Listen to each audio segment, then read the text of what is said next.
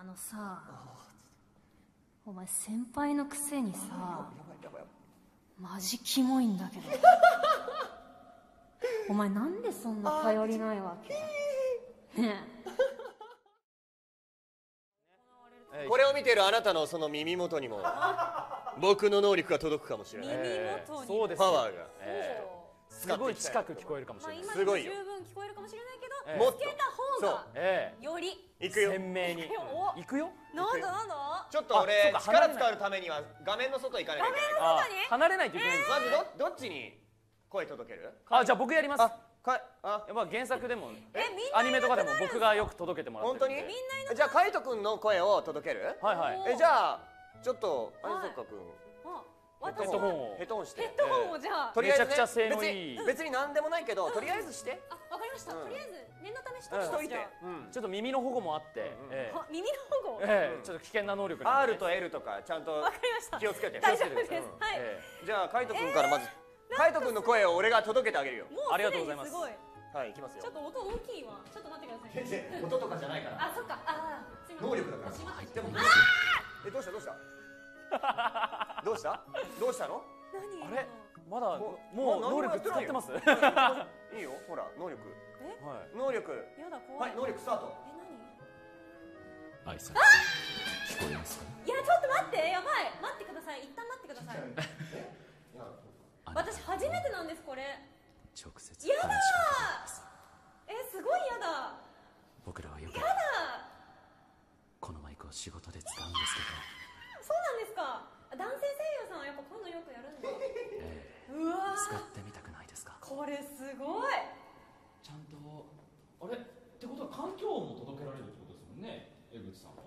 まあ全ての声は届けられますよ。こうやってぐるぐるしてもいろんなところから声が聞こえるでしょ。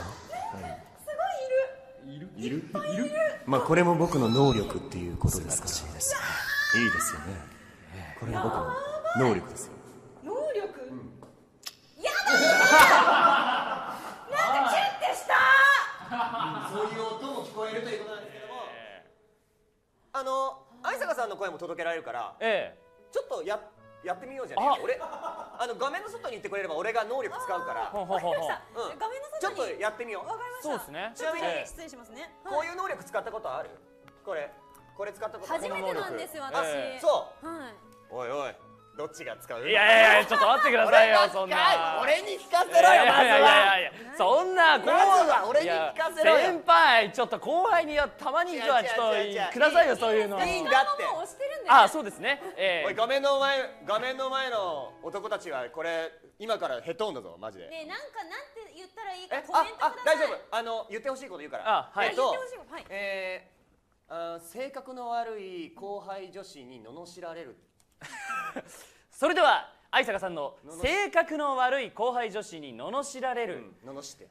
よろしくお願いします、あのさお前先輩のくせにさマジキモいんだけど。お前なんでそんな頼りないわけ？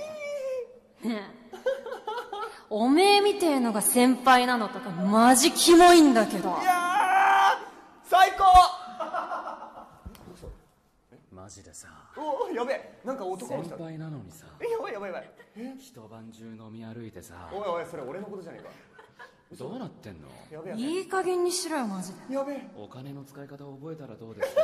それ俺なんだよな。いい大人なんだからさ。やばいやばいやばいやばい。いい加減にしないと食べちゃうぞ。うわー。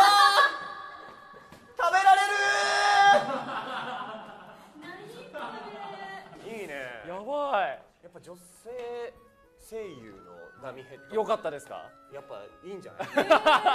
ありですか？どんどん作ってこいえー、なかなかないですもんね。どんどん作ってった。えーダミヘって言っちゃいましたけど。ダミヘッド。うん。必必要でしたけど。必要だと思うよ、えー、いや世の中に。いやいい能力でございました。ありがとうございました。とうございましたさあ江口さんにともぎの能力を使って声を届けていただきましたがいかがだったでしょうか、まあここだけの声のやり取りではなかったですねもう今回はね。ね。えーということで ありがとうございました、はい。以上リアル桜田リセット能力体験あなたの声を届けますのコーナーでした。